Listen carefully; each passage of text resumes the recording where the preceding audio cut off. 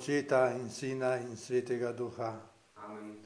Gospod Jezus Kristus, ki je v vsakem izmed nas blizu v kruhu in vino, naj bo z vami v sebi. In s svojim duhom. Dragi brate in sestre, v Kristusu, dragi dravljski farani in dragi rojaki po svetu. V berilu, ki je vzeto iz preroka Izaija, bomo slišali o trpečem Božjemu služabniku. Vsemogočni Bog mi je dal učen jezik, da bi znal trudne krepiti z besedo. Zbuja mi sleheno jutro, juho, da prisluhnem. Neuspeh Božjega služabnika je povezan še s hujšim trpljenjem in preganjanjem, ker nam ker sam posluša Božjo besedo, jo mora posredovati še drugim. Trpljenje Božjega služabnika ga ne stre, ker zaupa v Božjo pomoč. Tudi jaz bom zaupal v Boga in njegovo voljo in sprejema tudi nasprotovanje in zavračanje. Gospod, pomagaj mi, da bom lahko pretrpeto in sprejeto zelo spreminjal v Božjo ljubezen. Gospod mi pomaga, kdo me bo mogel, kdo bi me imel za krivega. V Evangeliju pa je težko razumeti, da je dogajanje v duši izdajalca Juda.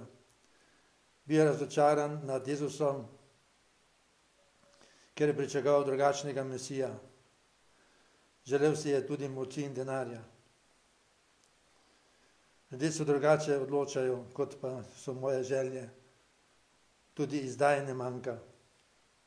Tudi Bog vodi vse po svojih načrtih, zato ne bom razočaran. Gospod pomaga mi sprejeti to, kar pride dobro ali tudi trpljenje naj se nikako ne prepustim smrtnemu strahu in obupu, ampak zaupam v tvoje usmiljenje, v tvojo odpuščajočo ljubezen.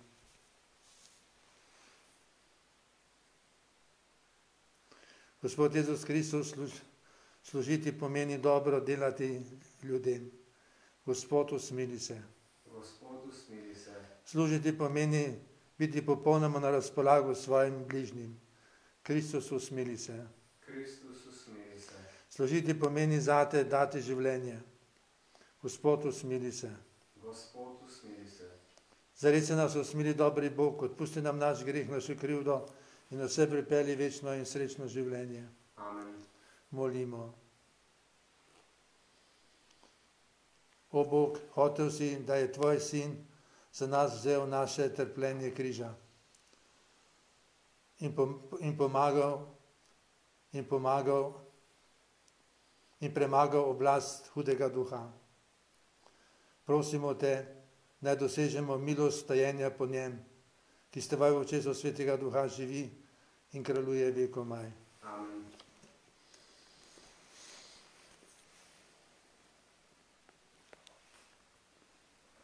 Berilo iz knjige proroka Izaija. Vsemogočni Bog mi je dal učen jezik, da bi znal trudne krepiti z besedo. Zbuja mi sleheno jutro uho, da prisluhne kakor učenci. Mogočni Bog mi je odprl uho. Jaz se nisem upiral, nazaj se nisem umaknil. Svoj hrbet sem nudil njim, ki so me bili svoje lice njim, ki so mi pulili brado. Svojega obraza nisem skril sramoteno in plunko.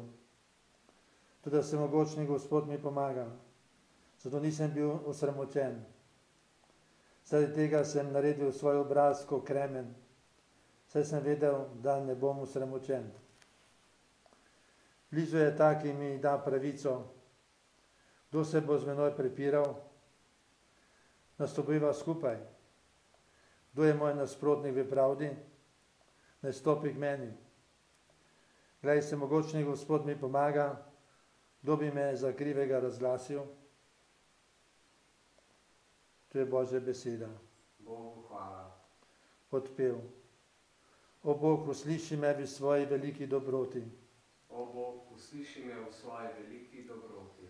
Zaradi tebe sem prenašal stra- zasramovanje, sramota je prekrila moje obličje, tujec sem ostal s svojim bratom, go- gorečnost za tvojo hišo me razjeda.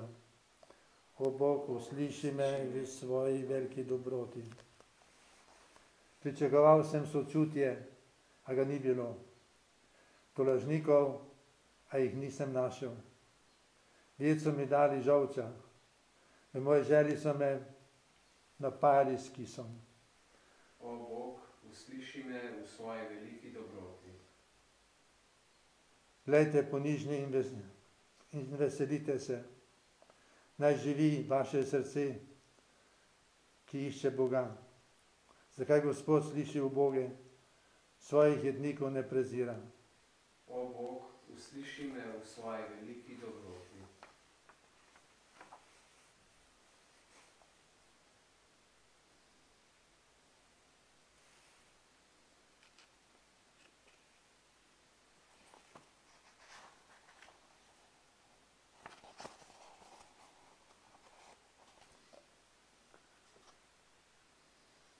Pozdravljen naš kralj, ti edini si se usmilil nas grešnikov. Gospod z vami, In s svojim duhom. iz svetega evangelija po Mateju. Slava tebi, Gospod. Tedaj je šel eden izmed dvanajsterih, ki se imenoval Juda Iskariot, k velikim duhovnikom in rekel, kaj mi date, hočete dati in jaz vam Jezusa izdam. Ti pa so mu določili 30 srebrnikov in odslej je iskal prilike, da bi ga izdal. Prvi dan opresnikom so pristopili učenci k Jezusu in rekli, ki hočeš, da ti pripravim velikonočno jagnje, rekel je, pojdite v, mesto k temu in temu in mu recite, učenik pravi, moj čas je blizu, pri tebi hočem obhajati veliko noč s svojimi učenci. Učenci so storili, kakor jim je Jezus naročil in so pri, pripravili velikonočno jagnje. Ko se je pa zvečerilo, je bil z dvanajsterimi pri mizi in je, med jo rekel, resnično, resnično povem vam, eden izmed vas me bo izdal. Sinu so se zvočarostili in so začeli drug z drugim povraščevati. Gospod, ali sem jaz? Odgovor je, kateri z menoj pomoči v roko v skledo, ta me bo izdal. Sin človekov sicer gre, kako je v njem pisano, to da gre tistemu človeku, ki bo sina človeka izdal. Bolje bi bilo zanj, ko bi se ne bil rodil. In svoj je izdajalec Juda in rekel, učenik ali sem jaz? In rečemo, ti si. To je Kristusov evangelij. Hvala tebi, Kristus.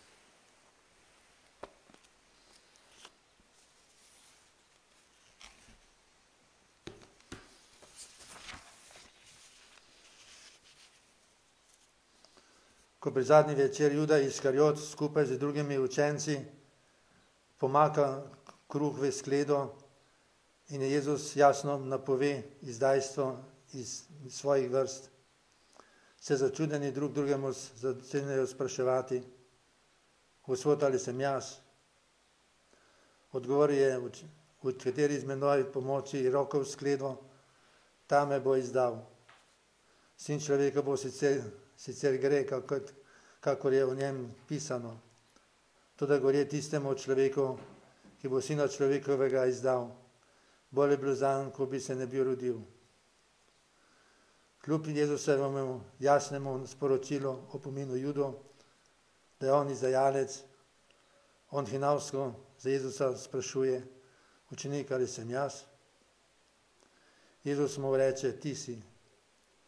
Jezus da izdajalcu Judo v usta celo grižljaj kruha, namočenega v skledi Božje ljubezni. Ko duhovnik daje sveto hostijo vernikom. In to z ljubeznivo gesto Jezus še naprej, še zadnjič poskušal sporočiti Judo, vem, kaj namerava storiti. Poznam tvoje težave, tvoje skrite želje in, in namene tvoje skrite grehe. Kljub temu sem še vedno tukaj s teboj za isto mizo in ti, delam, in ti dajem kruh, kot ga ljubeznivo le daje zaročenec svoje zaročenki. Juda, še ni prepozno. Sprememba življenja je še možna. Juda ni prepoznal znamenje Božje ljubezni in je celo poljub zlorabil za ogabno izdajstvo Božjega Sina. Groza.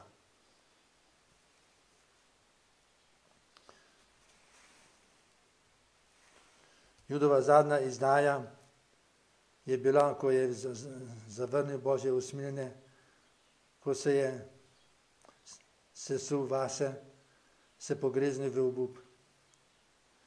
Jezus je pokazal veliko usmiljenje tudi do Juda, Upravmo je noge kot drugim učencem, sprejel je iz Jezovih rok kruh ljubezni kot zadnji ljubeznivi opomin.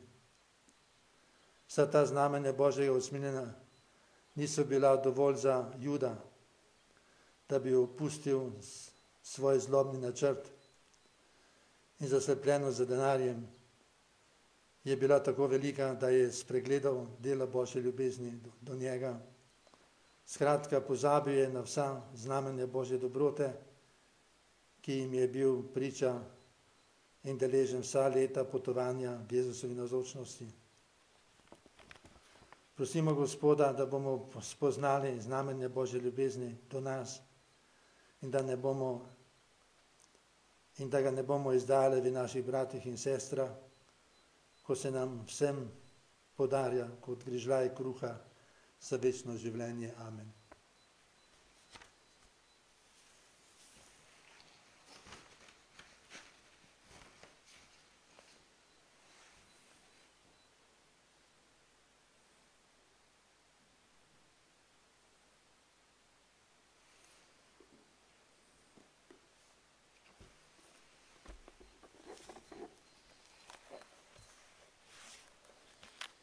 Brati in sestre, zupno se obrnimo na njega od katerega pride vsak dober dar.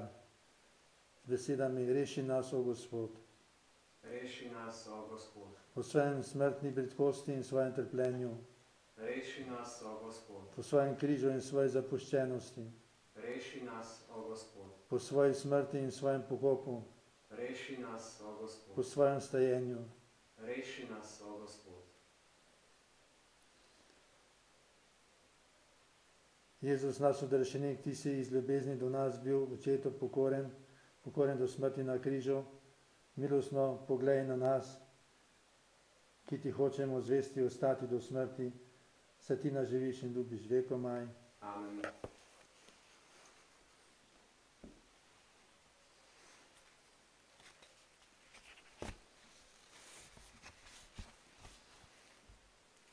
Hvala Bogu, Gospod vesolja, po tvoji dobroti smo peli ta kruh, ki sad zemlje dela človeških rok, ne ne postane kruh življenja.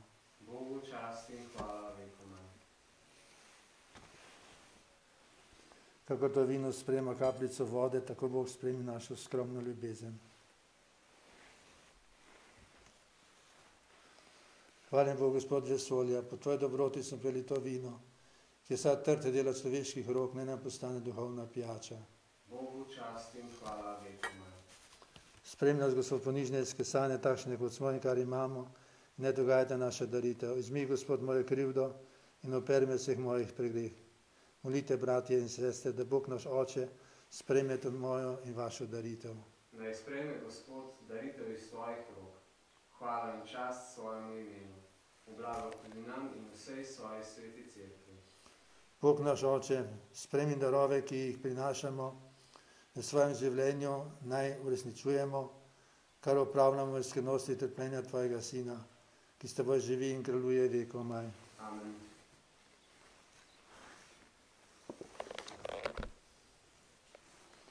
Gospod z vami, In s svojim duhom. kviško srca, Imamo jih pri Gospodu. Zahvalimo se Gospodu našemu Bogu. Spodobi se jim pravično.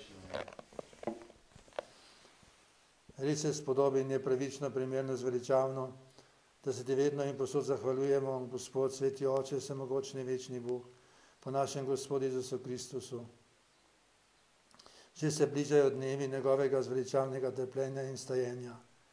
V njih oslavimo zmago nad hudim duhom in obhajamo skrivnost našega odrešenja. Po njem molijo tvoje veličastvo angelski zbori, ki se so večno sreduje pred tvojim obličjem. Prosim, da se z njimi združimo tudi mi in skupne veselje ukličemo. Svet, svet, svet si ti, Gospod, Bog vsega carstva, polna so nebesa in zemlje tvoje slave. Hozana na višava. Blagoslovljen, ki prihajaš v imenu Gospodovem, Hozana na višava.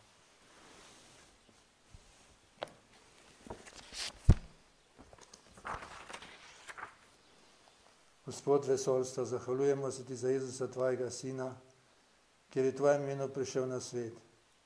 On je beseda, ki ljudi rešuje, roka, ki je ponujaš grešnikom, pot, po kateri nam prihaja resnični mir.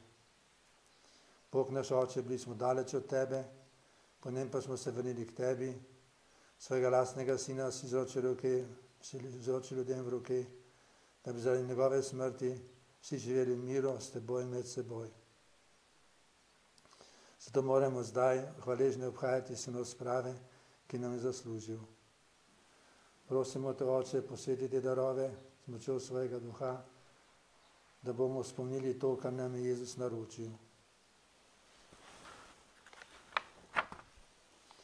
Preden se ti je daroval za naše odrešenje, je pri večerji vzel kruh, se ti zahvalil, ga razlomil, dal svojim učencem in rekel, vzemite in jejte od tega vsi, to je moje telo, ki se daje za vas.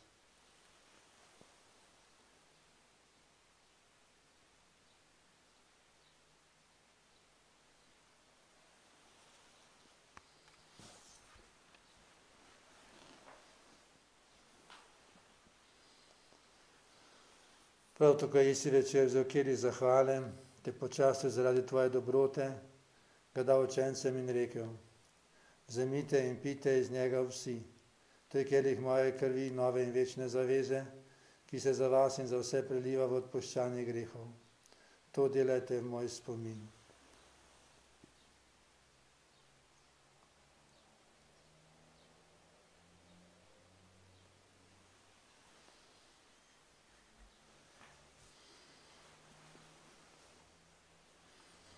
Skrivnost vere, reši nas odrešenik sveta, ki si nas svojim križem in stojenjem odrešil.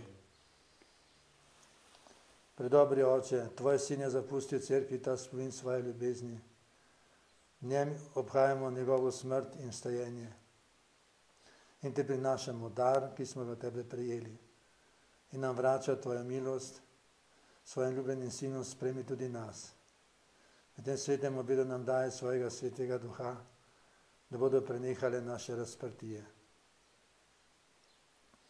Globlje ne zaživimo v medsebojni ljubezni, v občestvu s papežem Frančiškom, našim škofom Stanislavom, vsem škofovskim zborom, vsem tvojim, vsem tvojim ljudstvom. Naj crkva po tvoji milosti postane vidno znamenje edinosti v svetu, naj služi miru in ljubezni. Zdaj nas združuje z Božjo Materjo, Devico Marijo in vsemi svetniki ob mizi svojega Sina Jezusa Kristusa, nekoč pa zberi ljudi vseh narodov in jezikov, vseh barv in umik na svoji večni gostiji, tedaj se bomo veselili popolne edinosti in uživali nemiljivi mir Jezusu, našemu odrešeniku in Gospodu.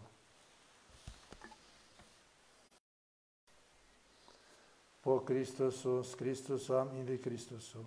Tebi se mogočnemu Bogu očetu, očetu svetega duha, vsa čast in slava na vse veke vekov. Amen. Pa molimo kot Božji otroci Gospodovo molitev.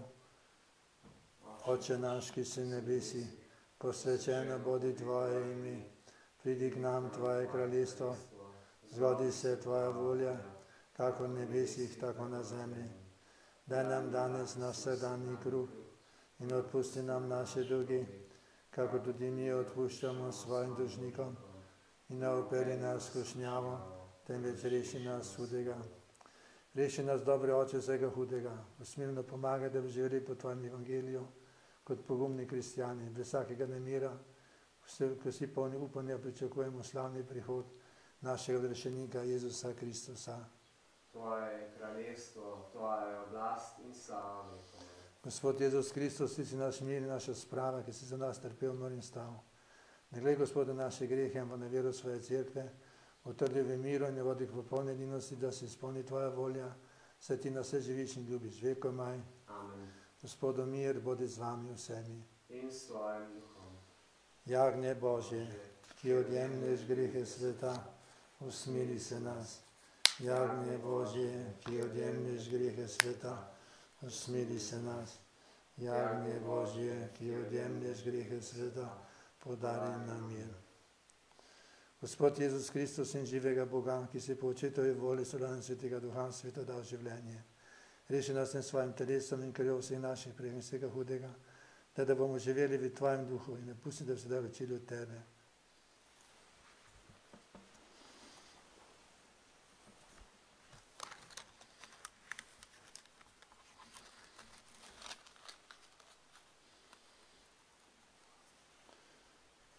Glejte, to jagne Božje Kristusa, zlomljen kruh za življenje človeštva. Gospod, nisem vreden, da prideš k meni, ampak reci le besedo in ozdravljene bo moja duša. Kdor verje in uživa ta kruh, bo imel v sebi večno življenje.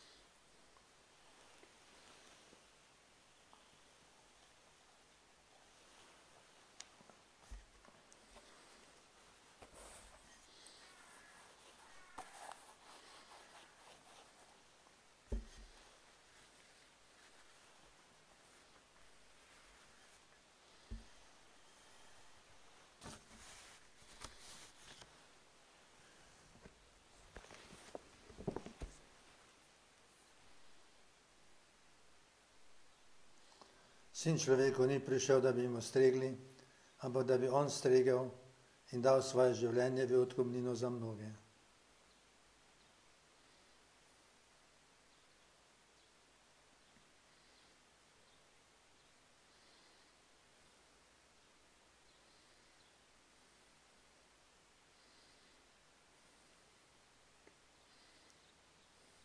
Molimo. Vsemogočni Bog po smrti svojega sina na križu, ki, oznanja, ki jo oznanjajo svete skrivnosti, nam daj trdno zaupanje, da nam boš podelil večno življenje po Kristusu našem Gospodu. Amen. Zdaj bo litanije in blagoslov z najsvetejšim. Gospod z vami. In s tvojim duhom. Naj vas blagoslovi in varje, vse mogoče dobri Bog Oče in Sin in Sveti Duh. Amen. Slavimo Gospoda in živimo v miru. Hvala.